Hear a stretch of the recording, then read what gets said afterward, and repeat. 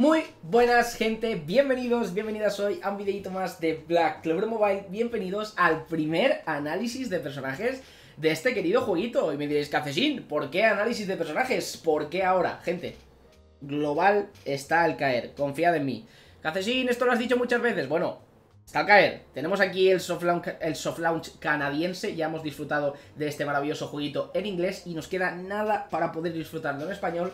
Porque al igual que dije en el vídeo del otro día, este juego está yendo como un tiro.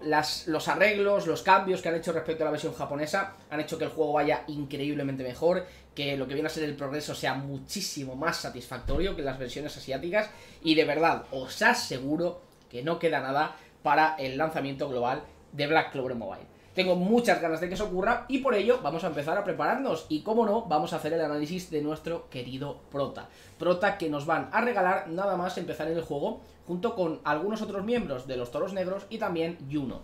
Estos dos personajes, tanto Asta como Yuno, para mí son los más importantes y los más poderosos de esta selección de personajes que nos van a regalar, que también podremos ir consiguiendo dupes de los mismos en los summons, personajes como Lack, personajes como Noel, personajes como Magna, no son tan potentes como podrían ser estos dos, teniendo en cuenta que son los protas, pues oye, tiene sentido.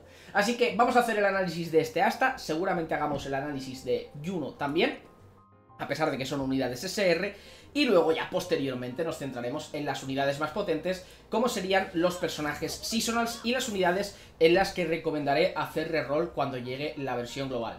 Importante mencionar que este, este asta es bastante importante, entre comillas, porque al estar basada la historia principal del juego en la historia del anime, vamos a tener que utilizar a los personajes que protagonizan las batallas en ciertos momentos. ¿Eso qué quiere decir? Pues que hasta va a estar sí o sí.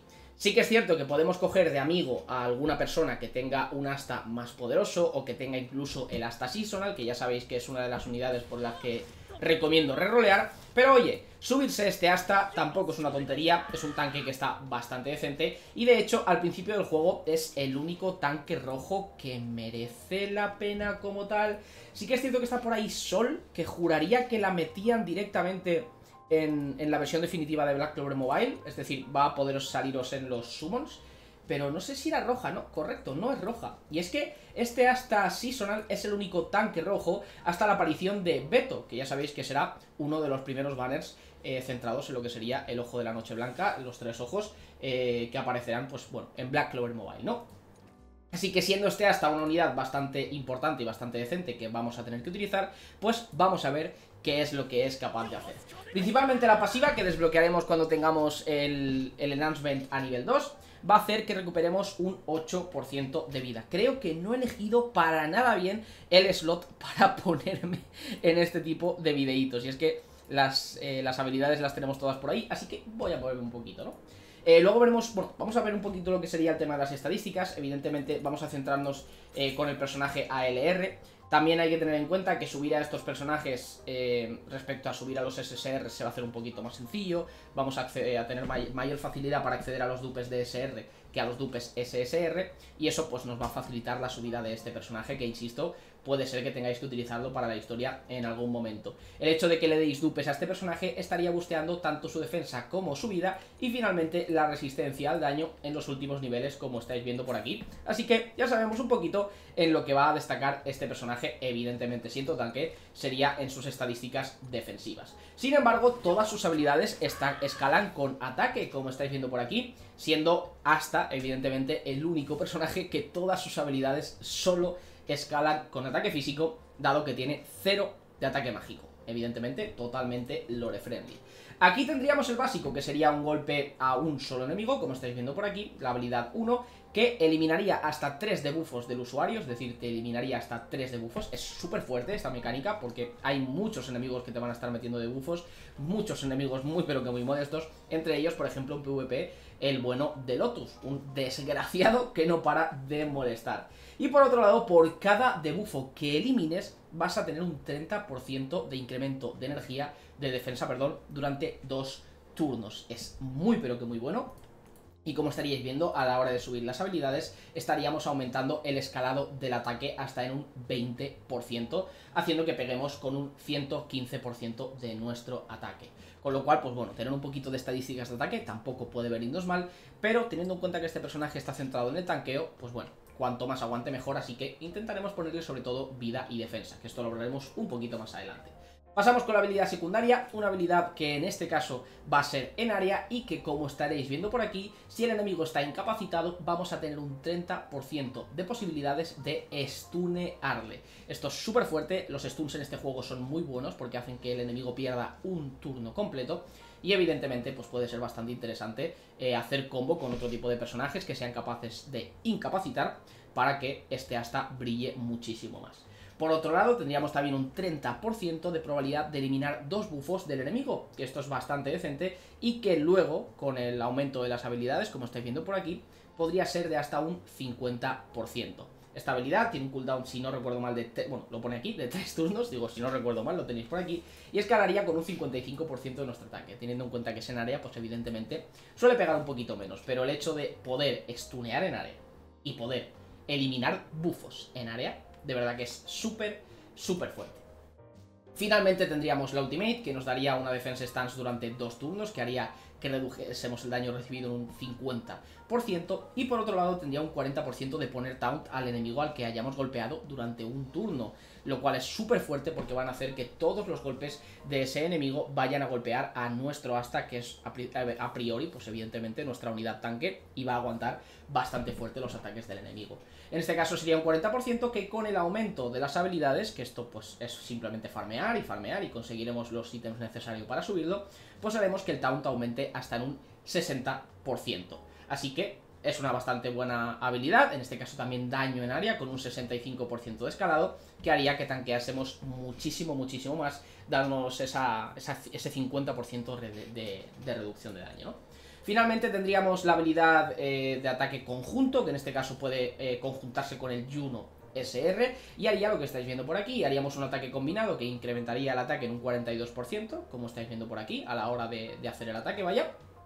Y luego, posteriormente, si estamos haciendo el ataque con Juno, tendríamos un ataque en área con un escalado del 30% de ataque. Los ataques combinados por norma general no son muy pero que muy potentes, más allá de que tienen habilidades bastante interesantes y en este caso incrementaría la defensa en, 3, en nivel 3 durante dos turnos, que es incrementar la defensa en un 175%, son estadísticas muy altas, y finalmente otro 40% de meter taunt a los enemigos, que esto quiere decir, pues bueno, que si estamos por ejemplo con y tiramos estabilidad con asta y luego posteriormente eh, somos capaces de tirar esto que estáis viendo por aquí, pues estaríamos eh, aumentando los, los taunts que vamos a poder eh, hacer a los enemigos, ¿no? Así que muy pero que muy buena habilidad, al final el taunt es una mecánica súper importante, sobre todo al principio del juego, ya os digo, y los tanques rojos y los azules son los que más vamos a aprovechar, teniendo en cuenta que la mayoría de enemigos de stage de farmeo y cosas por el estilo son rojos, lo cual quiere decir que mientras no sea verde, que es el, el enemigo el color, por así decir, eh, débil a ese, a ese elemento verde, pues vamos a tirar bastante, pero que bastante bien. Como os mencionaba, aquí las estadísticas, vamos a verlas finalmente un poquito más. Eh, de nuevo, tener este personaje a nivel 100 y al tope pues va a ser bastante, bastante sencillito. Y luego posteriormente tendríamos que hablar un poquito de la carta, carta que va a potenciar su habilidad principal. Bueno, sí, su habilidad principal, porque el básico yo por lo menos no lo considero habilidad, haciendo que incremente su defensa en un nivel 2 durante dos turnos, que si no recuerdo mal eso sería un 120 algo por ciento, no lo tengo del todo claro, porque si no recuerdo mal el, nivel 3 era eso, 175, pero no tengo del todo claro los números, pero bueno, como estáis viendo por aquí, eh, básicamente añadiría a esa habilidad, eh, habilidad principal, a la skill principal, a la skill número 2, em, esta, esta, nueva mecánica y aparte pues la carta lo que estaréis viendo por aquí eh, inflige un 10% de reducción de daño recibido en un boss a la hora de recibir daño de, ellos, ¿no? Así que si la tenemos al tope, que esto va a ser bastante común, de hecho esta carta la vais a poder conseguir free to play y luego los summons, ya os digo yo que os va a salir bastante, pues eh, vamos a poder bajar un 18% ese daño recibido, ¿no? Bastante interesante. Finalmente, tema de los equipamientos, cosa que también es bastante importante tener en cuenta. Al principio estaremos utilizando sobre todo estos dos equipamientos de aquí. Equipamientos que van a aumentar nuestra vida máxima en un en un porcentaje o en un valor fijo, o estarían aumentando nuestra defensa. Evidentemente esto es cuestión de probar y más adelante estaremos testeando bastante qué es lo que es capaz de hacer este tipo de equipamientos y demás, pero yo creo que teniendo en cuenta que es tanque, que su habilidad principal eh, o su... Sí, lo, en lo que destaca sería en el tanqueo, pues por supuesto estaremos intentando eh, buildearlo de forma defensiva. A pesar de que sus habilidades escalan en ataque, pues no es esto lo principal que buscamos de esta unidad. Evidentemente en el equipo llevaremos unidades más ofensivas que destacarán más con equipamiento de ataque. Finalmente, em, eh, utilizaremos estos equipamientos cuando avancemos un poquito más en, nuestra, en, nuestro, pues bueno, en nuestro avance en el juego, ¿no? Y es que eh, conforme vayamos avanzando desbloquearemos equipamientos superiores a los equipamientos que podemos conseguir previamente en el juego. Y es que, como estáis viendo por aquí, sería el equipamiento de defensa, pero con una estrellita. Esto quiere decir que sería el equipamiento superior, o defensa plus, no sé exactamente lo que es, no lo veo del todo bien.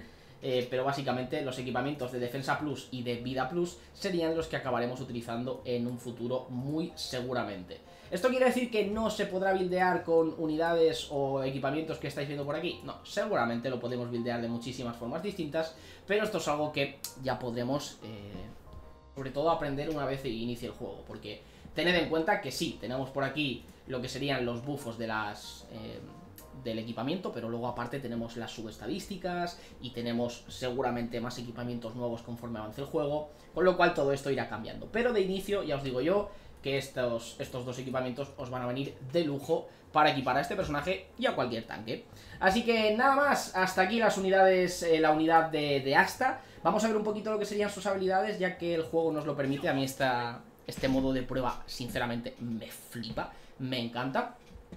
Y vamos a ver las habilidades mínimamente, ¿no? Aquí tenemos a los tres enemigos. Vamos a pegarle aquí al verdecito. Aquí simplemente para ver las, las lo que sería las... Las... ¿Cómo se dice? lo, que sería las skills, ¿no? ¿Por qué? Pues porque el, el bicho está duro. O sea, no, no te dejan probarlo a más nivel, cosa que me gustaría que te dejasen.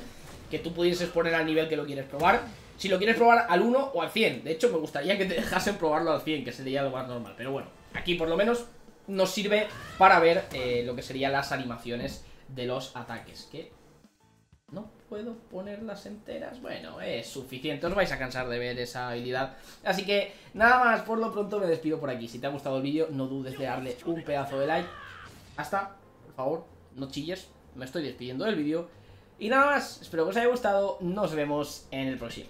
Chao, chao, chao, chao. Chao, chao, chao, chao.